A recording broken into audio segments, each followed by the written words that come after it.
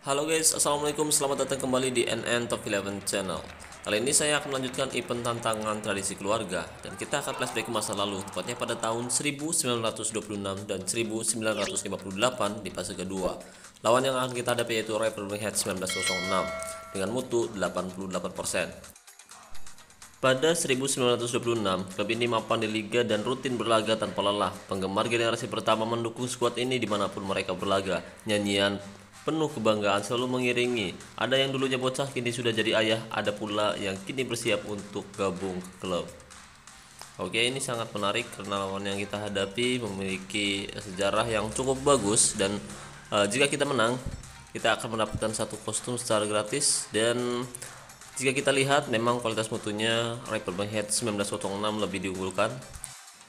Mereka memiliki mutu 88% berbanding 62,9% dan jelas mereka lebih diunggulkan untuk bisa mengalahkan tim saya. Dan ini adalah sebuah tantangan untuk uh, saya agar bisa mengalahkan mereka.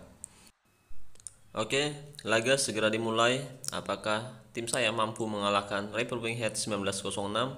Mari kita berikan bonus menyerang agar tim saya mampu mengimbangi mereka dan mencoba menyerang. Hal ini pertandingan sudah dimulai. Eden Hajar dan gol tepat di menit 02. Eden Hajar berhasil mencetak gol cepat untuk membawa FC Butung unggul 1-0. Cukup bagus Tendangan keras Eden Hazard tidak mampu ditepis oleh penjaga gawang dari River Head 1906. Kali ini Timo Werner mencoba menyerang dari sisi sebelah kanan. Umpan silang masih bisa dibuang. Mereka memiliki kualitas yang cukup bagus. Ketika kita mencetak gol cepat, jangan senang terlebih dahulu karena bisa saja mereka membalikan keadaan. Menit 10.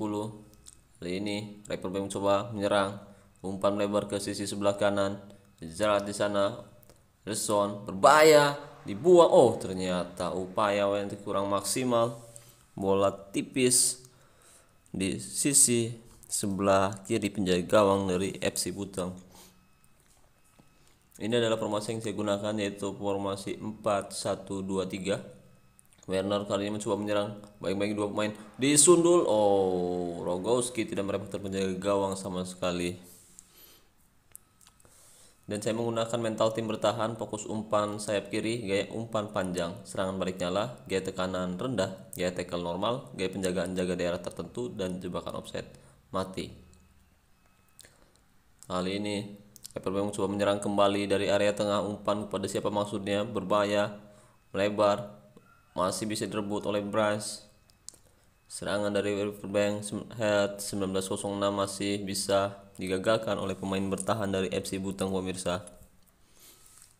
Lagi-lagi River mencoba menyerang kembali untuk uh, menyamakan kedudukan berbahaya Bembeng satu detik pemain bisa melewati dengan sangat cantik upaya low dan kurang maksimal bola melambung di atas Mister Gawang dan skor masih 1-0 untuk unggulan FC Butang di menit 27 kali ini Neverbank mencoba menyerang kembali melebar ke sisi sebelah kiri. Dibayang-bayangi dua pemain bisa melewatinya dengan sangat cantik. Umpan uh, crossing yang dilakukan oleh pemain dari Bank masih bisa dihalau oleh pemain bertahan dari FC Butang. Peningkatan sudah mulai terlihat dari pemain Bank Head.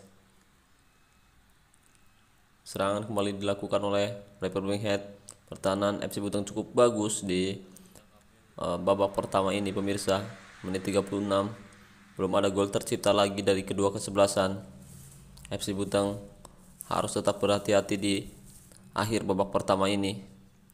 Kali ini serangan balik tercipta. Eden Hajar menggiring bola. Oh tackle yang cukup bagus.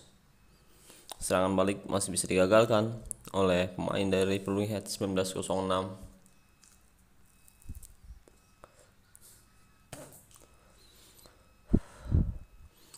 Rapper terus berusaha untuk oh sayang sekali Els lakukan pelanggaran keras dan mendapatkan kartu kuning. Tendangan bebas, apakah akan terjadi gol? Ancang-ancang, tendang langsung dan berbahaya. Van de Morter menyelamatkan tendangan bebas yang cukup bagus tadi. Baru waktu saya bermain tidak cukup bagus pemain bintang satu ini. Kali ini saya akan memasukkan Nur Yadin di babak kedua. Kemudian Setiawan masuk di posisi bek kanan. Ini adalah formasi yang saya gunakan tiga pemain dengan mentalitas menyerang, dua pemain dengan mentalitas bertahan. Oke, Setiawan masuk menggantikan Dikiol dan Nuryadin masuk menggantikan Salas. Di awal babak kedua ini, Werner mencoba menyerang umpan crossing. Oh, sundulan Rogowski hampir saja masuk bola melebar di sisi sebelah kiri penjaga gawang level head 1906. Tidak ada gol tercipta, skor masih 1-0 untuk keunggulan FC Buteng di menit 52. Darwanto masuk menggantikan Rogowski. Main dari Akademi Remaja. Saya akan coba memberikan debut pertamanya di event.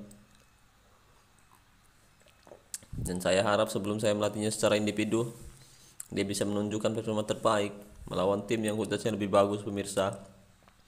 Kita bisa mengetahui jika memang dia bagus, dia akan memberikan kontribusi besar untuk tim. Kita bisa melihat di sini Darwanto dengan kualitas mutu yang cukup rendah sebenarnya, menggantikan Rogowski. Darwanto dia akan berikan dia kepercayaan menjadi pendang bebas sebelum saya melatihnya secara individu jika dia berhasil membuktikan dirinya melawan tim yang kualitasnya lebih besar mungkin besar saya akan melatihnya secara individu. Kali ini Werner mencoba menyerang dari sisi sebelah kanan. Disudul saja dan hampir saja tembakan Norwanto meleset tipis.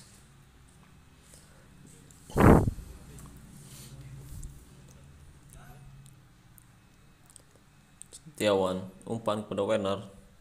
Kali ini lebih uh, cukup agresif permainan dari FC Buteng oh lagi-lagi sembilan Darwanto masih melenceng pemirsa. Cukup bagus penempatan dari Darwanto sebenarnya. Hanya butuh penyelesaian saja yang kurang uh, bagus. Darwanto mencoba menyerang lewati penjagaan dengan sangat baik dan tendangannya masih melambung. Tapi kita bisa melihat di sini dia bisa melewati dua pemain meskipun mutunya cukup rendah dan nilainya sudah meningkat di angka 7,1 dan sekarang menurun 6,9 Werner bermain sangat bagus dengan nilai 8,2 ini adalah uh, pencapaian yang cukup bagus pemain yang bertahan cukup lama sudah empat musim ini pemirsa. Berbahaya sekali hampir saja untung saja Pender Morton membuat penyelamatan yang menakjubkan menggagalkan uh, tendangan keras jarak dekat dan uh, skor masih 1-0 untuk keunggulan FC Butang. Bank Head mencoba beberapa kali serangan semenjak dari babak pertama hingga sekarang babak kedua belum ada gol tercipta. Kali ini saya akan mencoba menyerang dari sayap kanan pemirsa. Berbahaya, masih bisa dibuang. Saya akan coba menyerang dari area sayap kanan. Martino bermain cukup bagus menjaga gawang dari Bank begitupun uh, back tengah mereka dengan nilai 8,5 8,3 kemudian seperti tidak ada kelemahan di lini pertahanan mereka. Tapi memang FC Butang sedikit lebih uh, beruntung di babak pertama dengan mencetak gol cepat dan memiliki pertahanan yang cukup solid di babak uh, kedua ini. Serangan masih bisa digagalkan dan sepertinya kita akan lihat peningkatan mulai dari Oh, tidak ada lagi waktu yang tersisa. FC Buteng berhasil mengalahkan Rapper Head 1906 dengan skor tipis 1-0. Jika kita lihat dari kualitas mutu jelas mereka lebih diunggulkan, selisihnya sangat jauh sekali pemirsa. Tapi pertahanan FC Buteng di uh, fase kedua ini cukup bagus dengan tidak kebobolan sama sekali dan mencetak gol cepat.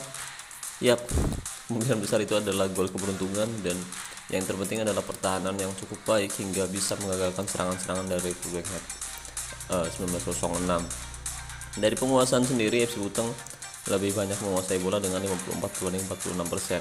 Dan dari 12 kali percobaan hanya satu yang tepat sasaran dibanding uh, 7 percobaan dari River Head dan 4 tepat sasaran tapi tidak berbuah gol. Jadi satu serangan yang dilakukan oleh FC Buteng itu pun di pertama kali di menit kedua langsung membuahkan hasil lewat tendangan dari Eden Hajar. Man of the match pertandingan yaitu Penderhart dengan uh, kemampuan yang sangat bagus meskipun kualitasnya sangat rendah sekali penjaga gawang itu. Kita bisa melihat di sini mereka mencoba menyerang dari area tengah tapi gagal pemirsa karena pertahanan cukup bagus.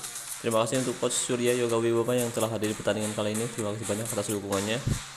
Dan sekarang kita akan meninggalkan laga untuk mendapatkan satu jersey secara gratis. Jersey ini satu set dengan logo yang kita dapatkan uh, kemarin pemirsa. Oke. Titik cek dibuka dan sampai jumpa lagi di video selanjutnya. Terima kasih banyak buat teman-teman yang sudah menonton video ini sampai selesai. Saya ucapkan wassalamualaikum warahmatullahi wabarakatuh. Salam olahraga salam top 11 Indonesia